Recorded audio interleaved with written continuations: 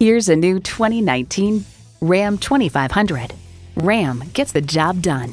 It comes nicely equipped with features you'll love V8 engine, HD suspension, automatic transmission, active grille shutters, streaming audio, wireless phone connectivity, manual tilting steering column, trailer hitch receiver, heavy duty shocks, upfitter switches, and power heated mirrors.